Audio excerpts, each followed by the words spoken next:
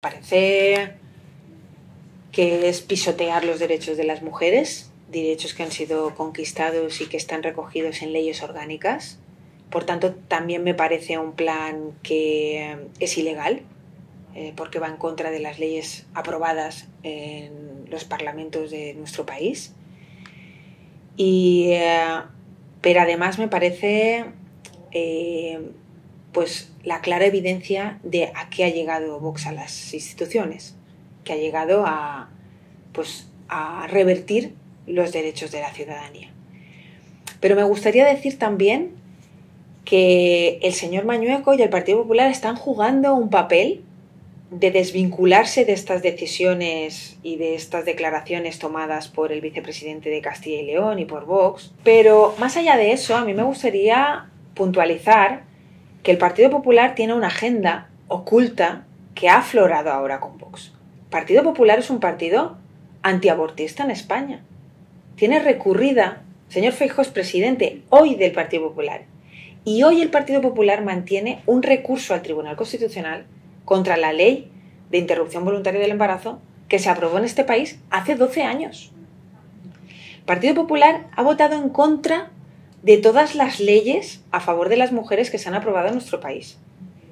Y no solo de las mujeres, votó en contra de la ley del divorcio, votó en contra de la ley de igualdad, votó en contra de la ley de interrupción voluntaria del embarazo, por no hablar de la ley de la eutanasia, y las ha recurrido todas. Por tanto, lo que me parece es que el Partido Popular va con guante blanco, pero en realidad lo que está haciendo Vox es aflorar el verdadero programa del Partido Popular y del señor Fijo. El Partido Popular, eh, utilizando también a Vox como muletilla, se está convirtiendo en la nueva Inquisición española.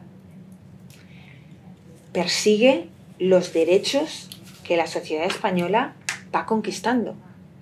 Los derechos de las mujeres, los derechos como por ejemplo la ley de la eutanasia, el derecho a una muerte digna, la reforma laboral, los derechos laborales, los persigue en los tribunales cuando los pierde en el Parlamento y en el Congreso de los Diputados.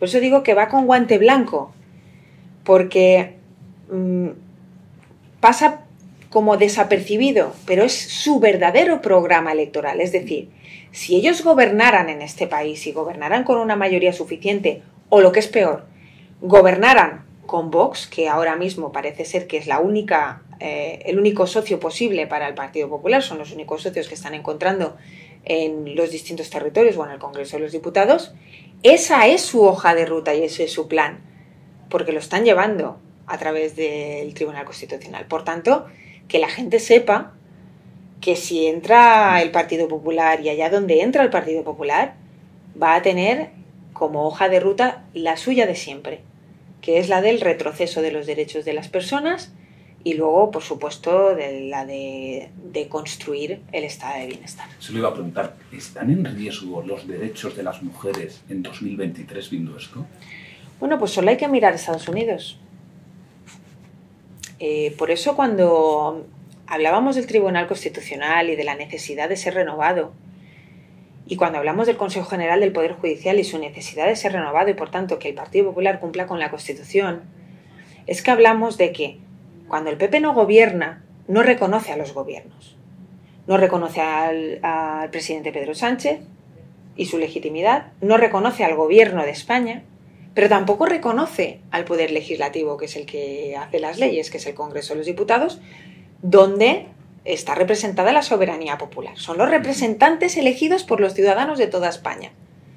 Y no los reconoce hasta el punto de querer, para nosotros, bajo nuestro punto de vista, que por la puerta de atrás los tribunales tumben lo que ellos no consiguen tumbar porque no tienen los votos suficientes en las cámaras. Y eso es lo que ha ocurrido en Estados Unidos, que de repente el Tribunal eh, Supremo decidió que en Estados Unidos ya no valía el aborto o que ahora ha decidido las expulsiones en caliente de las personas migrantes, en contra del espíritu del gobierno de, la nación que es Biden, ¿no? Entonces, cuando miramos a Estados Unidos, cuando miramos a Brasil, al final vemos que hay un modus operandi que es eh, común.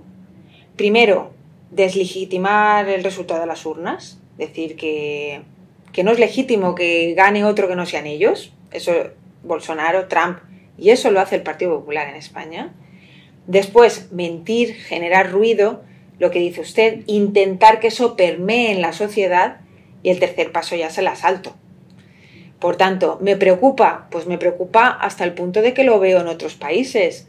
Pero bueno, el presidente del gobierno siempre ha dicho que en España prevalecerá la democracia y prevalecerá el Estado de Derecho y entendemos que seremos capaces de defenderlo. Desde luego, el gobierno de España, y ustedes lo han visto, el gobierno de España y la sociedad le hemos puesto freno al ataque en Castilla y León y vamos a estar aquí de garantes de los derechos de la ciudadanía allá donde se pongan en cuestión. Bueno, yo creo que el, señor Feijóo le duró de moderado el discurso ese que hizo en su toma de posesión en, en el Congreso del Partido Popular y ya.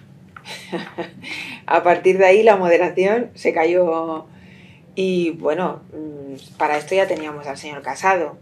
Había acuerdo para renovación del Consejo General del Poder Judicial el señor Fejó sucumbió a las presiones de los poderes mediáticos, judiciales y empresariales de la derecha.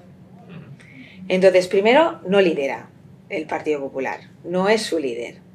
No sé si tenemos que sentarnos con la señora Ayuso o incluso nos tenemos que, que sentar con algún periodista para discutir realmente cuál es el plan del Partido Popular y cuáles van a ser sus posturas eh, de cara ¿no? a, iniciativas del gobierno de España.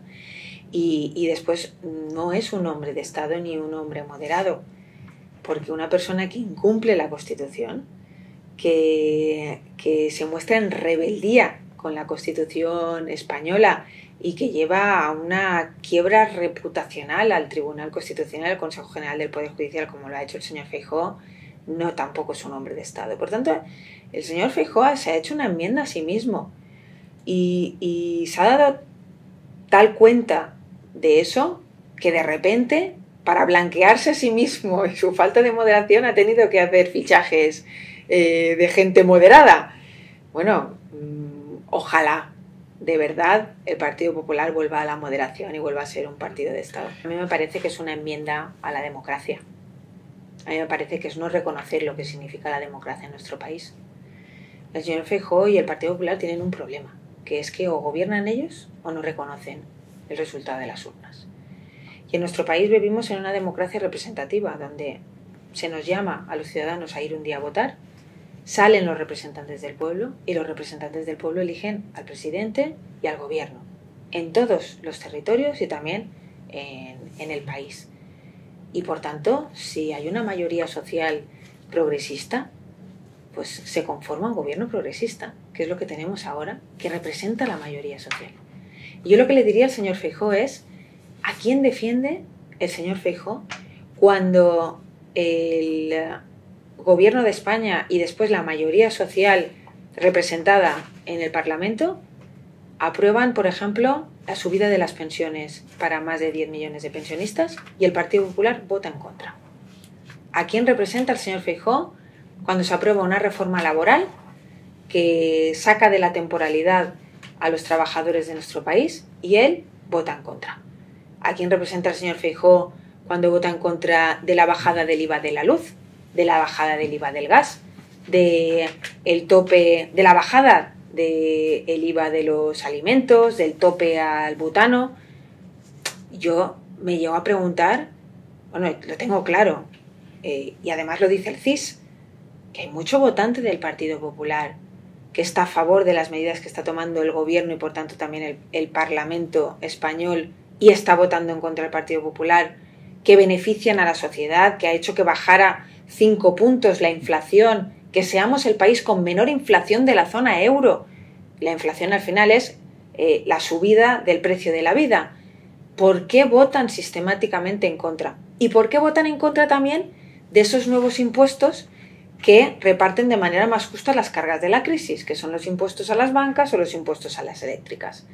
Entonces, el Partido Popular Y el señor Feijo, ¿a quién representan? Pues yo le digo, a la mayoría social de este país, no. Por tanto, que se preocupe más por estar en el espacio de la representatividad que por mm, gobernar enmendando lo que, es, lo que es el sistema democrático de nuestro país.